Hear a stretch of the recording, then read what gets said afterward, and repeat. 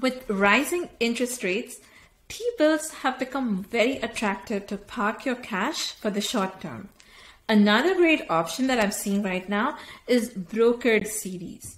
In this video, I'm going to talk about what brokered CDs are, how they differ from T-bills, and what I prefer.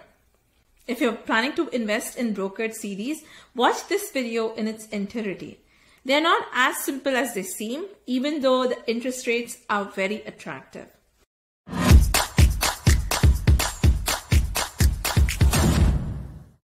Hi there, I'm Avanti. I'm a mom, an investment analyst, and a CFA charter holder.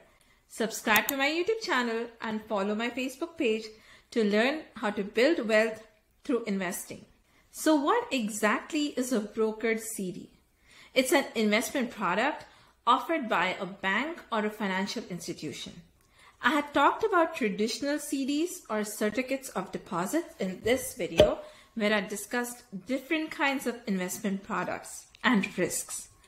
A CD typically earns more interest than your regular savings account. A brokered CD is similar to a traditional CD in that it offers a predetermined amount of interest if held over a specified period of time. There are several differences between a brokered and a traditional CD, but the main one is that a brokered CD is purchased or sold through a broker rather than directly through the bank. It's right there in the name, brokered CD.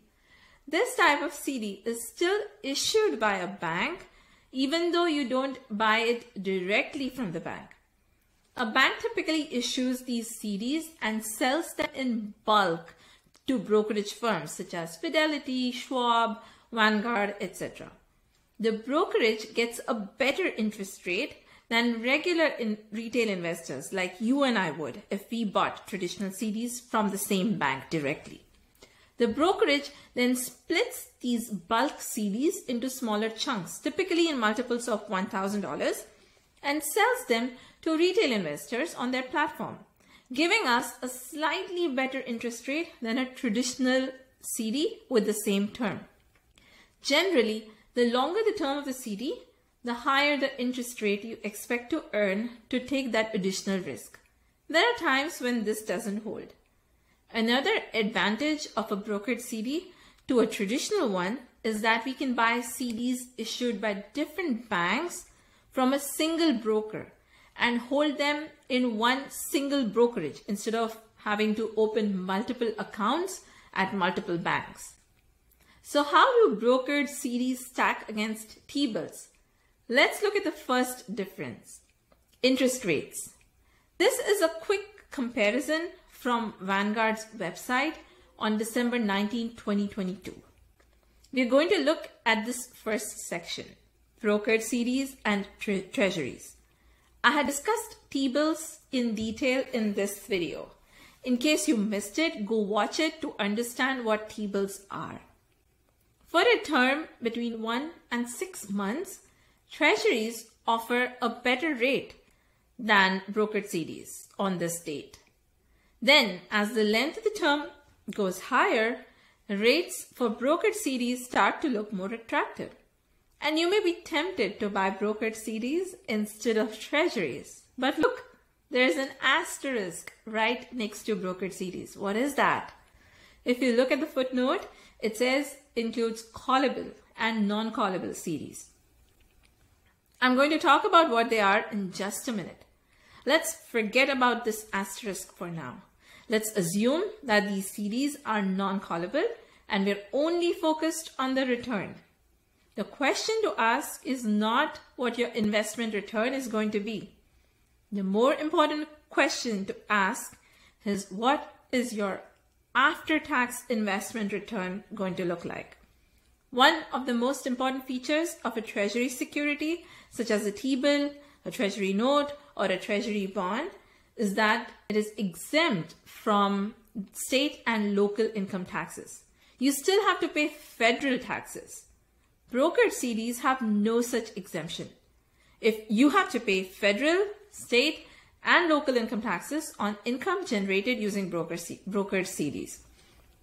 If you're buying brokered CDs in a tax exempt account, such as a Roth IRA, there is no difference because this account is tax free for qualified distributions.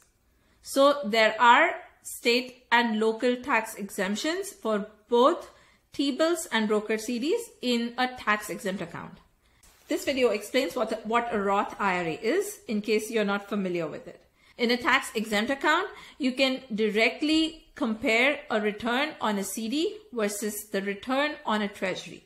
The big difference arises if you're buying this security in a regular taxable account, such as your brokerage account, and you live in a state that has state or and or local taxes. Let's say we are comparing the 52 week T-bill with, uh, with an interest rate of 4.6% with a brokered CD of a similar term yielding 4.8% to determine which one to buy in your brokerage account. On the surface, it looks like it looks like this number 4.8% is higher than 4.6%. Now let's get to the after-tax return. This IRS website shows different tax brackets. I have linked it below so you can find your own tax bracket. I'm assuming a federal income tax rate of 24% and yours may be different. This federal tax will apply to returns from both a T-bill and a brokered CD. The next step is to determine your state and local income tax rate. This one does not apply to a T-bill because T-bills are exempt from state and local taxes. I am in a high tax county in Maryland, so I'm going to enter 8.2% here. If you live in California, you could be paying upwards of 13%. On the other hand, if you're in Texas, your state tax would be zero. I'm not a tax expert, so don't hold me to these values. I got them from the internet. So here, my total income tax would be a sum of federal, state, and local tax. That would be 24% for, for the T-bill and 32.2% for, for the brokered CD in my case. That makes, makes my after-tax yield equal to 1 minus the tax rate times the pre-tax yield in my example, the clear winner is the T-bill because it offers an after-tax rate of 3.5% versus 3.25% for a brokered CD. Note, this is only for a regular taxable account. I'm working on a calculator that you can input your values in and decide for yourself. I will link it in the description once it's ready. Now let's look at what callable means. But before that, please show me some love by hitting that like button and share this video with one person who may get some value out of it. And if you're new here, please consider subscribing and hitting the notification bell so you don't miss any of my new videos. If you're watching me on Facebook, don't forget to follow my page. And please comment below what you like and what you want to hear more about in my future videos. And if you want to learn how to invest in the stock market, don't forget to watch this free course on the basics of stock market investing for beginners. I was super nervous when I first purchased my first share of Apple and I can understand how overwhelming the stock market can be. This course is designed to take the overwhelm out of investing. Moving on, let's talk about callability. This is the second difference between T-bills and brokered CDs. T-bills are not callable, whereas brokered CDs can be callable. I clicked on this 4.75% number under two years. That took me to this page where it lists two CDs that have maturities of about two years. Today is December 19, 2022, and the maturities are in December of 2024. There are two options I can pick from. The first one is a JP Morgan CD that offers 4.75%. And the other one is a Wells Fargo CD with a rate of 4.5%. Obviously, the temptation is to buy this 4.75% JP Morgan CDs, which offers 25 basis points higher than the Wells Fargo one. But wait, this one's callable. Callable means JP Morgan can buy back the CD from you. Now, if I click on the CD, it shows me the details of the CD shows me the CUSIP, the maturity, which is in 2024, the coupon rate of 4.75%, the coupon date, which is in June of 2023, the pay frequency, which is semi-annually.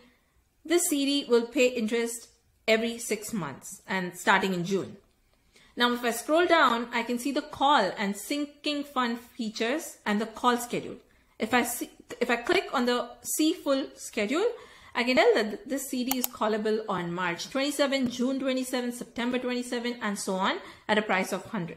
That means JP Morgan can buy back the CD from an investor on those days by giving a five day notice. Why would a bank buy back a CD? To protect itself. When you buy a CD, you are loaning your money to the, to the bank for a fixed time period. The bank pays you interest, but the bank also uses the money that you lend to lend to uh, other borrowers and earn an even higher interest rate. Now, let's say between now and the end of the term, interest rates start to decline. The bank has locked a 4.75% interest rate in the CD, but because interest rates have gone down, it is no longer able to loan money for the same profitability. In that case, it can tell the CD owners, you, if you are one, that they're returning their capital at a predetermined rate. For that protection, they are giving you a slightly higher interest rate now versus this Wells Fargo CD that has no built-in protection for the bank. Note, this call feature is a protection for the bank, not you as an investor. And the bank will exercise this call option when it is profitable to do so. So if JP Morgan calls the CD in March, you will not have had a chance to earn even your first coupon. As an investor, you not only lose the opportunity to earn interest on the return capital, you also have to reinvest your capital at a lower interest rate since interest rates have declined. This is called reinvestment risk. I was quoted in a Forbes article recently uh, in an article on reinvestment risk, and I have linked it in the description below if you're interested in reading. The next big difference between T-bills and brokered CDs is how they trade on the secondary market. If you don't plan to hold your CD to maturity, you could sell it on the secondary market through your brokerage. However, there isn't a lot of liquidity, which means you may not be able to find a buyer. And if you did, you may not get a favorable price for it. T-bills, on the other hand, have a much greater liquidity than brokered CDs. I still don't prefer to trade uh, uh, T-bills on the secondary market. The fourth difference is knowing the exact yield at purchase date. When I discussed how to buy T-bills on Vanguard in this video, I showed you how you don't know exactly what rate you will be getting when you buy a new issue T-bill but you get a sense of the indicative yield, which in my case was very close to the actual yield. In case of a brokered CD, you know exactly what the yield is when you purchase the CD. If that feature is important to you, you may favor a brokered CD versus a T-bill. The fifth difference is how interest is paid. A T-bill pays interest only once at maturity. A brokered CD, on the other hand, can pay interest at regular intervals, such as monthly or semi-annually, etc. The last difference I want to discuss is safety. T-bills are backed by the full faith and credit of the US government. So you are practically guaranteed to receive your money back with interest.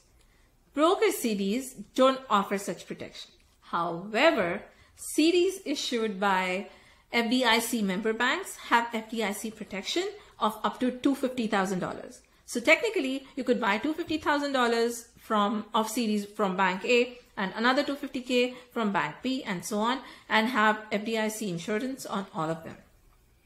All CDs offered through Vanguard today are FDIC insured. But make sure to check this FDIC protection before purchasing your brokered CD through your brokerage. Personally, at this point, I like T-bills more than brokered CDs, but things may change as market environment evolves and interest rates change. I talked about creating a T-bill ladder in this video, so do check it out. Brokered CDs may be a good place to park short-term cash that you have saved for specific short-term goals. For how to set up your goals and create an investment plan, watch this video and don't forget to download my investment plan template. Go watch this video next. And if you found any of this information to be of any value, Please like this video and share it with one person you want to help. I want more and more people to start investing for the family's future. As always, don't forget to be happy, to be kind, and to be your best self. Bye and Happy New Year!